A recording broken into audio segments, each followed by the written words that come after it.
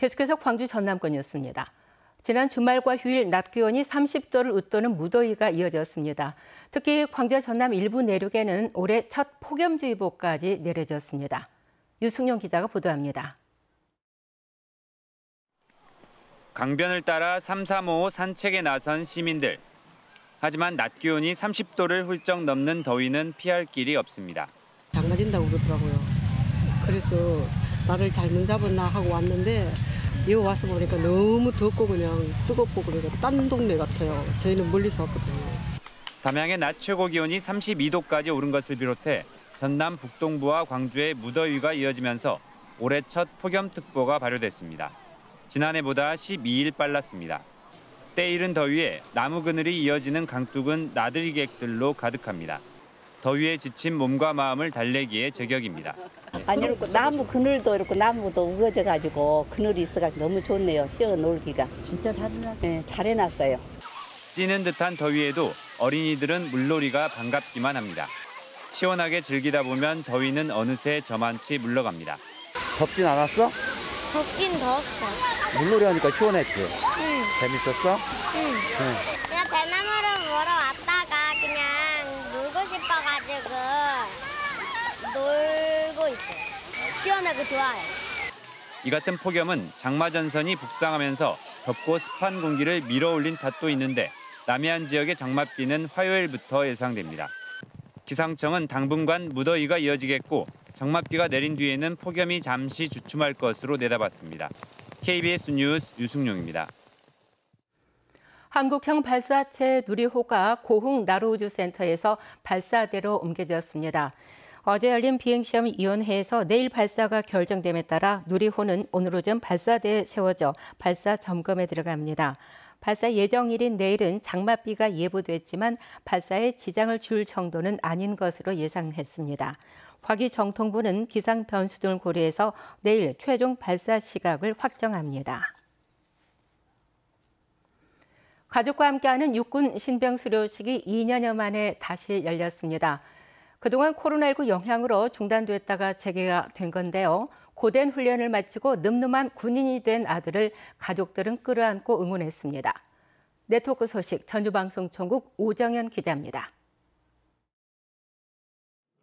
부모 품을 떠나 지낸 아들의 모습은 어떨지 아버지는 궁금합니다.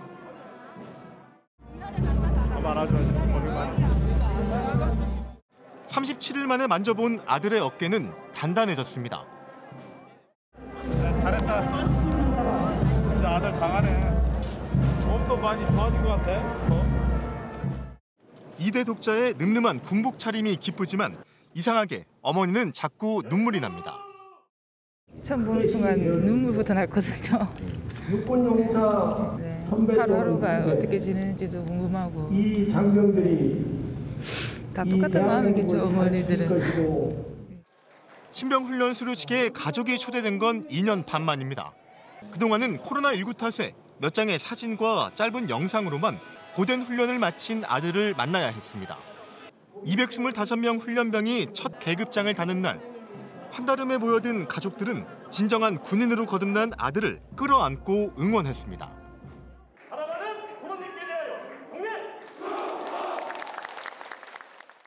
55년 전 베트남으로 가 나라를 위해 헌신한 노병은 군복을 입고 선 손자가 자신을 똑 닮아 대견합니다. 군복을 입고 있는 늠름한 모습을 보니까 옛날에 제 생각이 나는데 너무나 자랑스럽습니다. 군 생활 하신 할아버지가 늘 존경스럽고 이 모습을 본받아서 저도 군 생활 더 잘 적응하고 싶습니다. 육군 35사단은 다음 달부터는 입영식에도 가족을 초대하기로 했습니다. KBS 뉴스 오정현입니다. 정부의 청년마을 사업이 경남에서는 하동과 함양에서 추진되고 있습니다. 청년들이 한 달 살이 프로그램을 운영해 귀농 귀촌을 돕고 또래 청년들의 창업을 지원하며 지역에 활력을 불어넣고 있습니다. 창원방송총국 이형관 기자가 취재했습니다. 전통시장 골목에 자리 잡은 한 숙박 시설. 개량 한복을 맞춰 입은 청년들이 손님 맞을 준비에 한창입니다. 거실을 정돈하고 손님들에게 줄 환영 선물도 챙깁니다. 저희 오늘 참가자들 welcome kit 나눠줄 거 체크 한 번만 할게요. 함양 청년마을 고마워 할매입니다. 귀농귀촌한 여성 청년 6명이 함양살이 체험 프로그램을 통해 다른 지역 청년들의 지역 정착을 돕고 있습니다. 청년들은 짧게는 2주일, 길게는 한 달가량 머무르면서 지역민들과 교류하게 됩니다.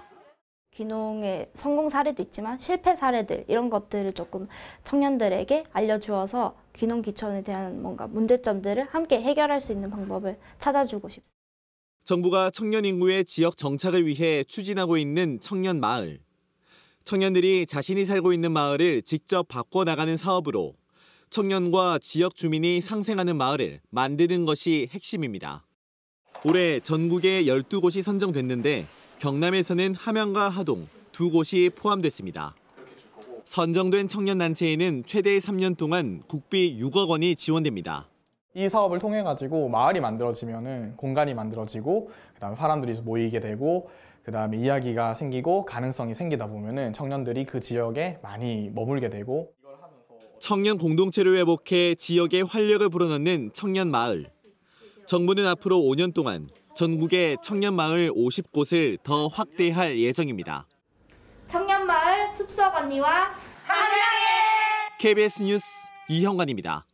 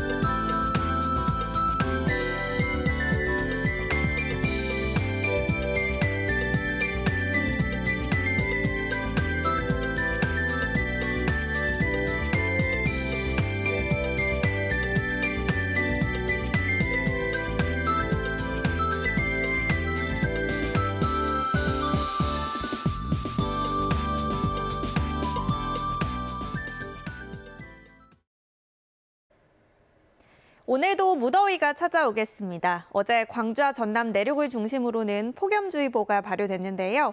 모레까지 이 폭염주의보가 발효된 내륙을 중심으로 30도를 웃돌겠고요. 체감온도는 33도 이상으로 덥겠습니다. 온열 질환에 주의하셔야겠습니다.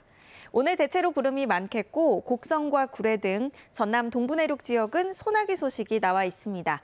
오후부터 저녁 사이고요. 양은 5에서 30mm가 예상됩니다. 내일부터는 장맛비도 시작되겠습니다. 내일 새벽부터 오전 사이 제주도 남쪽 해상에 위치한 정체전선의 영향을 받겠는데요. 전남 남해안 지역은 5mm 미만의 비가 예상됩니다. 다음은 자세한 지역별 기온 살펴보겠습니다. 아침 기온 어제와 비슷하게 시작하고 있고요. 한낮 기온은 광주와 담양 33도로 내륙 지역은 어제와 비슷하거나 1, 2도가량 높겠습니다. 여수의 낮 최고 기온 27도, 고흥 28도로 어제와 비슷하겠습니다. 목포의 한낮 기온 28도, 영암 32도, 장흥 29도까지 오르겠고요. 신안을 비롯한 도서 지역은 25도에서 28도가 예상됩니다.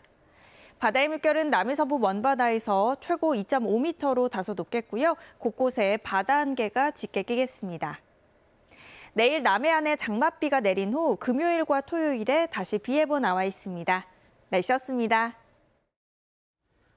국민의힘이 추진하는 반도체 특위 위원장에 양향자 의원이 거론되고 있습니다.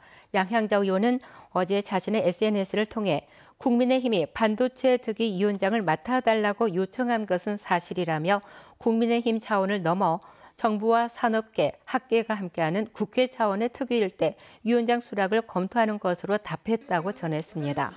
양 의원은 2020년 총선에서 더불어민주당으로 광주 서구을에서 당선됐지만 지난해 보좌진 성폭력 사건과 관련한 2차 가해 의혹으로 당에서 제명돼 현재 무소속입니다. 민주당이 광주시의회 의장단과 상임위원장 후보를 경선으로 선출합니다. 민주당 광주시당은 시의회 의장과 부의장, 상임위원장 후보자 선출을 위해서 희망자를 오늘까지 공모합니다. 공모 결과에 따라 오는 30일 자체 의장 후보를 선출하고 부의장과 상임위원장 후보는 다음 달 2일 의원총회에서 정할 예정입니다. 광주시 의회는 당선인 23명 가운데 22명이 민주당 소속으로 당내 경선 결과에 따라 사실상 후보가 확정됩니다. 전남도의회도 의장단과 상임위원장 민주당 경선을 27일에 진행할 예정입니다. 광주 지역 휘발유값 상승세가 이어지고 있습니다. 유가 정보 사이트 오피넷이 발표한 자료를 보면 광주의 6월 셋째 주 기준 휘발유 값은 전주보다 26.3원이 오른 리터당 2,045원으로 나타났습니다. 전국 평균 휘발유 값은 전주보다 43.4원이 오른 2,080원이었고 제주가 리터당 2,166.2원으로 전국 최고를 기록했습니다. 광주 지역 아파트 가격 상승세가 이어지고 있습니다. 한국부동산원이 발표한 자료를 보면 지난 13일 기준 광주 지역 아파트 매매 가격은 전주보다 0.03% 상승했지만 전남은 0.06% 하락했습니다. 부동산원은 광주의 경우 광산구 월계 운남동, 북구 우산 신안동의 중저가, 서구 내방 광천동 위주로 오르고 전체적인 상승세를 지속한 것으로 분석했습니다. 순천만 국가정원의 관람용 소형 경전철인 스카이큐브가 고장으로 어제 30여 분 동안 운행이 중단됐습니다. 어제 오전 11시 45분 스카이큐브 한 대가 통신장애로 멈춰서면서 당시 큐브 레일에 운행 중이던 다른 큐브 석 대도 운행을 멈췄습니다. 뉴스를 마칩니다. 감사합니다.